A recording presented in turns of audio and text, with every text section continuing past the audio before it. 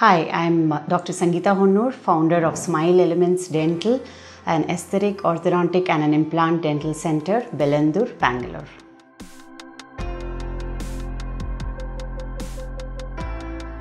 Uh, sinus infections, we commonly hear uh, people say, I have a sinus infection, and even an allergies are known as sinus infections.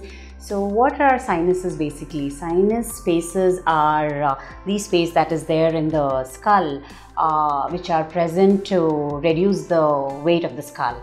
And especially the most common sinus infection when we hear is the maxillary uh, sinus infection, which are just located above your uh, upper teeth in the upper jaw.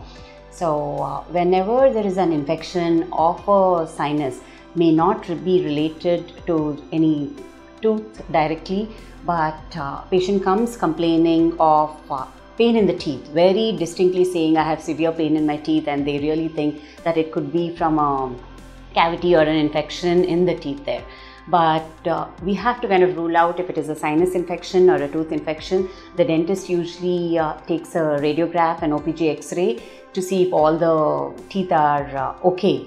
And there are other tests which we do, hot and cold test uh, to check the vitality of the teeth. When all of this seems normal and there's also a history of patient gives when they're lying down that the pain is more, we do uh, attribute that to a sinus infection more from the common cold or allergies um, or other issues. Um, also, there is one uh, way when the sinuses can get affected is from the tooth itself. During a root canal treatment that is to be carried out, when the instruments that we use pass through the roots, and either you pierce the sinus or there is debris or bacteria that go into the sinus, that itself can cause a sinus infection. So, by itself, sinus infection can mimic like a tooth infection, but the tooth infection also can cause sinus infections sometimes.